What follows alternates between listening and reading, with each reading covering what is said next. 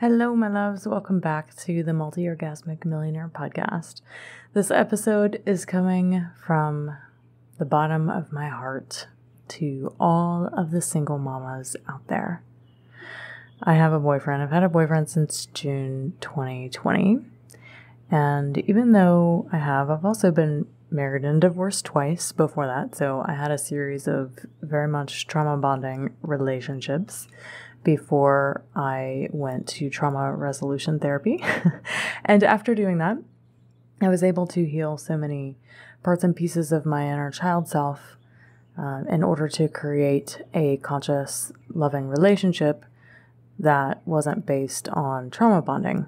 And what do I mean by trauma bonding? I mean, like when you're attracted to someone because you share the same core wounds as they do, and you two are kind of co regulating the trauma bond, where you're feeding off of each other to continue to perpetuate that story that was created whenever the traumas happened. So when we overcome and move beyond trauma bonding relationships, we're able to create what I call conscious relationships or sacred partnerships where we're not attracted to someone based on core wound matching, but we're we choose a partner based on the fact that, oh wow, this is a really great relationship partner.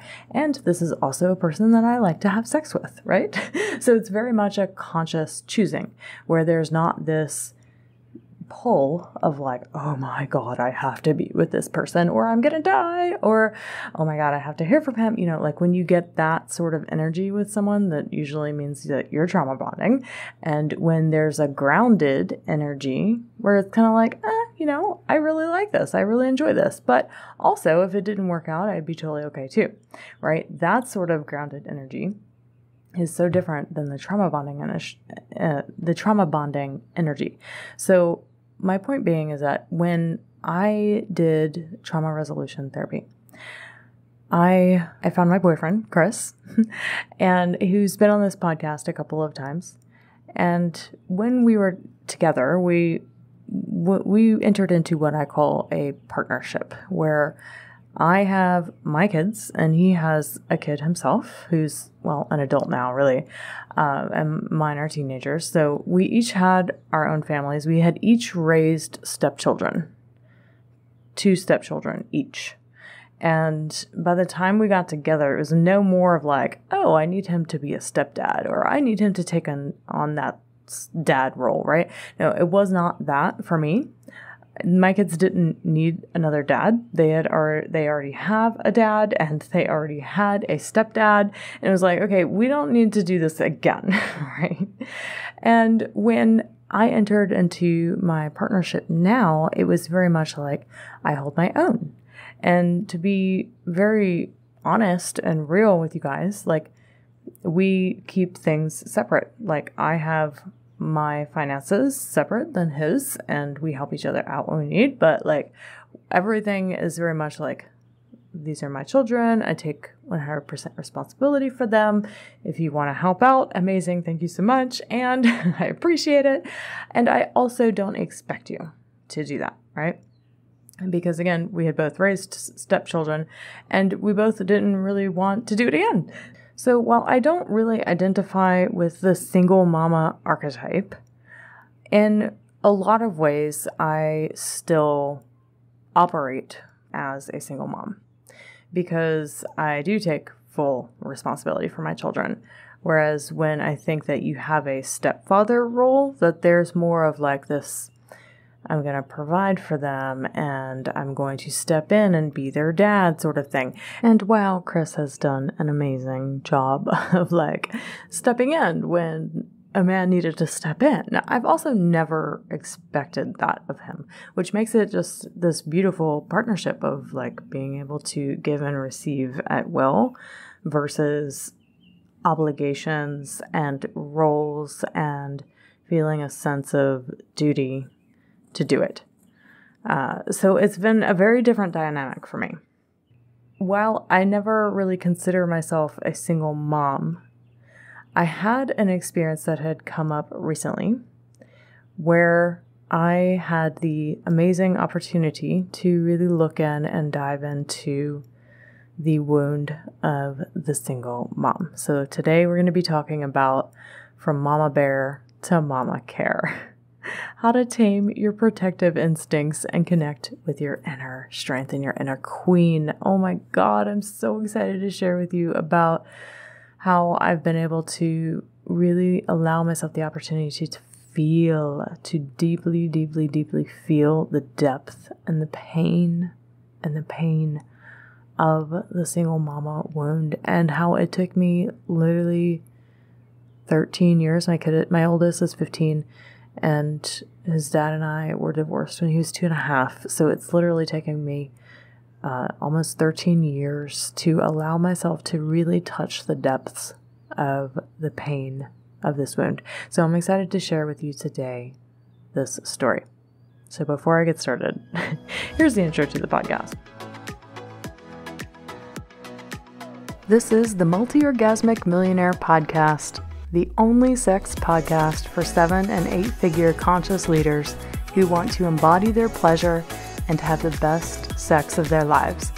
I'm Tilly Storm, top 20 sex coach in the world, and your host today. All right, my loves, welcome back. Thank you for joining me. If you are a single mom, this is for you. This is so, so, so for you. Take a deep breath. this is a vulnerable episode for me to share. I had an experience recently where I got to feel the depth of the single mom wound, which is the wound of feeling completely and utterly alone and helpless. And like, oh my God, if I cannot help myself, how in the world am I going to help my children? And how are the world how in the world are any of us going to survive? So it was the end of April and I had a financial obligation that I was wanting to square away with to take care of. And I had some income that I was expecting that completely fell through at the last minute. And I mean, like in the five figure range. And it was a lot. it was a lot of money at once. And I was expecting things to come through. And then all of a sudden, they did not. And this experience sent me into one of the most challenging, deepest, darkest pits of like complete and utter helplessness that I have ever felt in my entire adult life. and I'm laughing at it now because some of the the miracles that ensued after to make up for this large amount of money that was coming my way that all of a sudden wasn't anymore. It totally came, but at the time it was like, holy hell, how in the world am I supposed to come up with all of this in a couple of days' time? and I have I have no idea what's going to happen after this. And this experience sent me into a complete freeze. My entire system shut down. Like I could not I could barely get out of bed. I was waking up in the middle of the night for like 3 nights straight frozen. Frozen. Like if if you could think of a mama bear in the woods who was attacked by another creature and this mama bear is playing dead. Girl, that was me. I was just dead. Like, asked my boyfriend, he's like, oh my God, can you just get up? Can you just get up and do something and get a fire under your ass and go do something? And I'm like, no. And I was a complete mess. And all I could do in this moment was to be with the experience to be with this fear. And I didn't know where the fear came from. And I, I kept telling my boyfriend, I was like, I don't know where this comes from. Like, I don't get it. I don't understand why this is so deep, why I am so mistrusting of life, why I am so blowing this out of proportion. It's not like my life is going to be over if this thing doesn't get paid in the next couple days, like everything will be okay. And yet my nervous system is reacting as if I am getting killed, as if there's like a knife at my throat. where I am just completely shut down. And I'm like, where the hell does this come from? I don't know. Is it generational trauma? Is it like massive scarcity problem? I like I could not point a finger at it to save my life, nor did I really care because I knew that it it didn't matter where it came from. It just mattered that I was feeling the fuck out of it. I was feeling some massive feels that sent me into a complete and utter spiral. And these couple of days that this was going on, I have never been in my entire adult life so challenged to be with something that was so uncomfortable.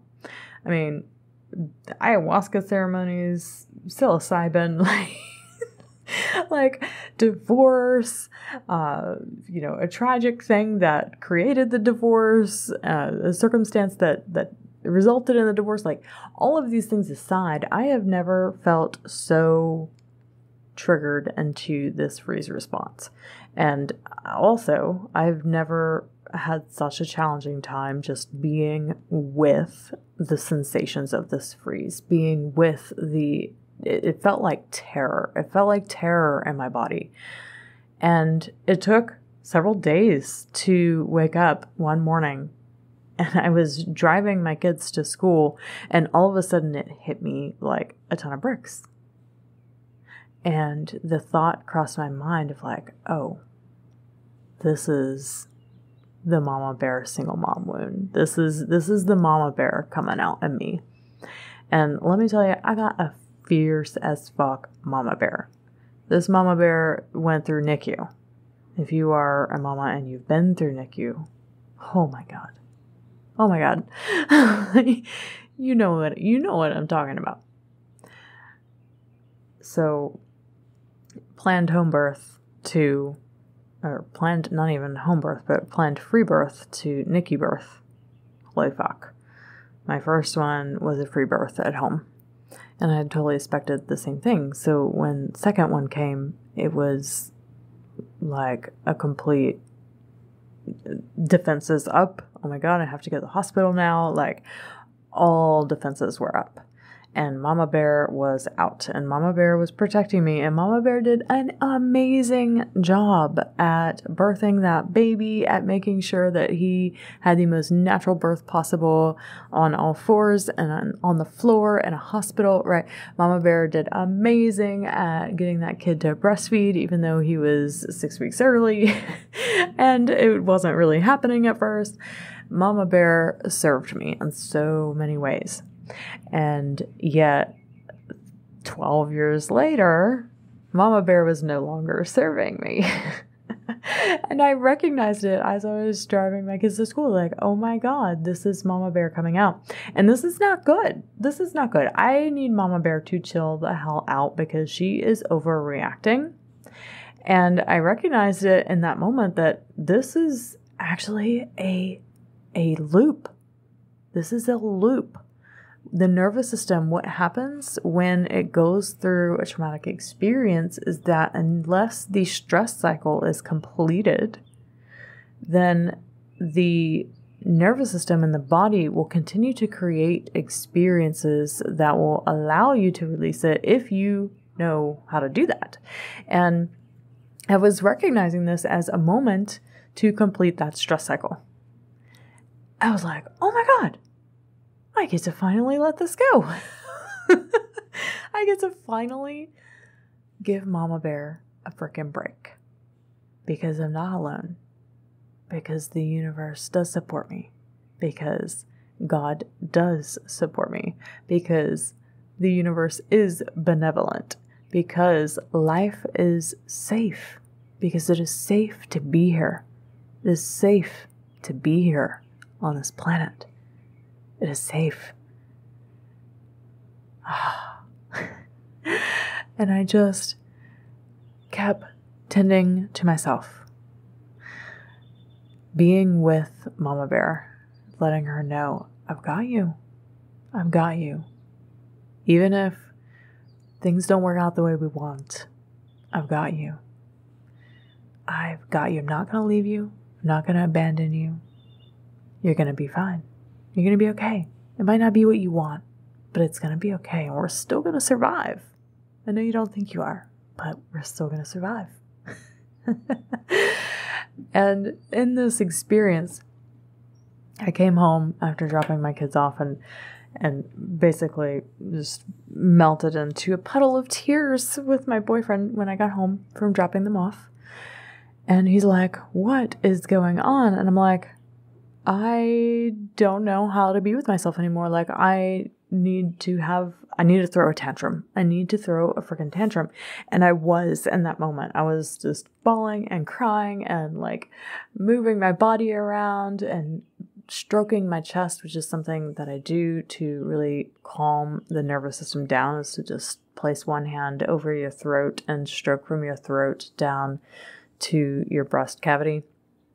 And I was just stroking that and just being with the intensity of this entire situation and calming my nervous system. And then I went to the bathroom after throwing a tantrum and I come back and I get a notification on my phone. And the notification was telling me that I had received what I needed to receive to take care of the financial obligation that I wanted to take care of and that I was expecting to have taken care of. And I immediately burst out in laughter, and so did he. And we were just laughing our fucking asses off at the hilarity, at the fucking hilarity that I had to go through all of that, all of the pain, all of the discomfort, all of the terror, the utter terror, just to get to recognize that once again, the universe always provides. Once again, life is safe. Once again, we always get what we require. Once again, God is good. and it was in that moment that I was like, oh my God, I think maybe, I think maybe I have completed that stress cycle. The stress cycle of the trauma that happened from NICU birth, from having children and being divorced and being single immediately after my second one was born. So the one that I was sharing, Mama Bear came out when uh, he was born because of the situation of his birth. Uh, we, his dad and I, got divorced literally like a couple months after he was born, and that's when single mama, mama bear became like an identity inside of me. So, how do we step out and complete these stress cycles to step out of the mama bear mode and to embrace our and connect with our own inner strength and our inner queen? Well, I've already shed some light on some of the things that I did to move through this stress cycle, to complete it, to complete this loop that had been coming up for me for 13 years almost. And I, I would say that being with the intensity of the thing without trying to change it, I would just wrap my arms around myself. I would hug myself and I'd say, I love you. I love you. I've got you. I've got you. Thank you. Thank you. Thank you. And I choose pleasure and I choose abundance and I choose joy and I choose ease and grace. So it was acknowledging what I was experiencing without trying to get rid of it, without trying to say, oh, I wish I could just get over this. I wish I could just not feel this anymore, right? I'd been doing that for 13 years. It wasn't working. I wasn't getting over it.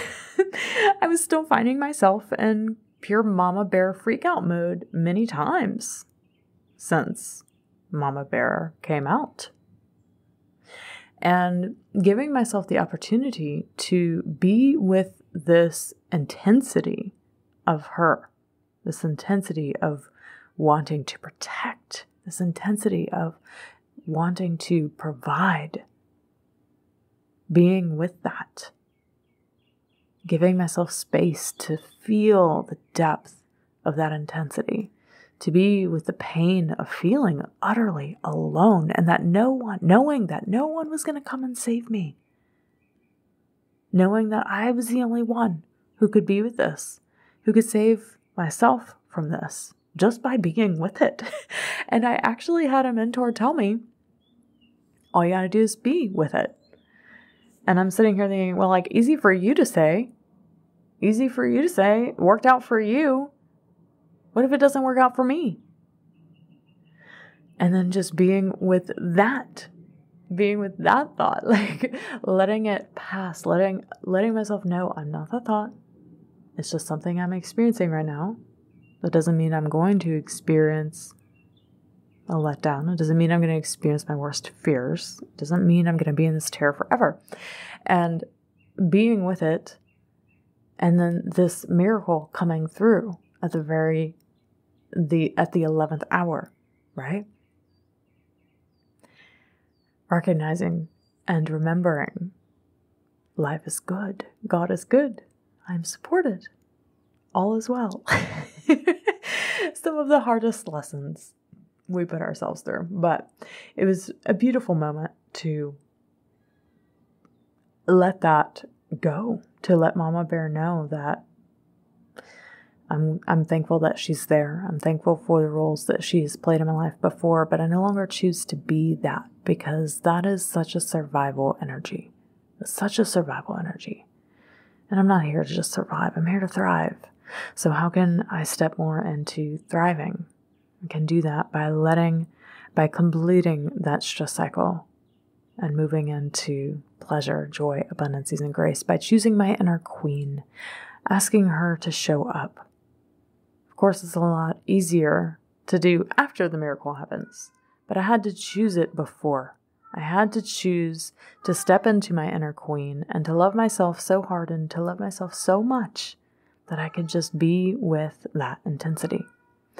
So, if this is something that you have found that you struggled with, if you or have been in a similar situation where you're like, oh my God, I don't know if I can handle this. I'm just going to drink five glasses of wine or a whole bottle of wine tonight instead, right? You don't need to do that. That's just going to keep making the cycle continue. And you're going to continue to find yourself in circumstances where you keep creating um, a need for the mama bear to come out. You don't need to do it anymore. You're here to thrive, not survive. So you can download the five days to epic sex and pleasure for high achieving women training. And in that training, the link is in the show notes. In that training, I give you the nervous system release techniques that you can use to throw a tantrum, that you can use to put yourself in a position in a conscious way where it's actually safe and good and a good idea to let these cycles release in you naturally. Now, obviously, you don't go do them in the middle of a grocery store uh, while you're shopping, but if you do them while you're at home in a safe environment, it's an amazing way to give yourself that opportunity to get out of survival mode and thrive. So, I would love for you to go download that and day in one of the days of the training, I can't remember which one, uh, but in one of the days of the training, the five days to epic sex and pleasure training, I give you a link to the morning pleasure ritual. And in the morning pleasure ritual, you will learn the nervous system release techniques that I use on myself, that I used in myself in that moment to complete a stress cycle and choose my inner queen to continue showing up and to choose something else to write a new story, to choose thriving. So go download that at the link in the show notes and get started releasing all of the pain and the traumas that you have inside and are stored in you as well, and completing these stress cycles so we don't continue writing the same story over and over again and we can step into thriving thriving mode mm, yes All right, my loves. And this doesn't just pertain to a particular financial obligation or matter. Uh, this pertains to anything, anything that you find yourself in fight, flight, freeze, or fawn over. And it doesn't just pertain to mama bear identity, but I wanted to share this because it's what it's what has been really real for me recently. And I wanted to share how I was able to move through that and so to support others who maybe have felt the same. So thank you so much for joining me today. And I'll be excited to share with you next week, which starting next week, you're going to be able to sign up for the Sexy Feminine Leadership Summit. Oh my God, I'm so freaking excited about the summit. I've nearly recorded all of the interviews.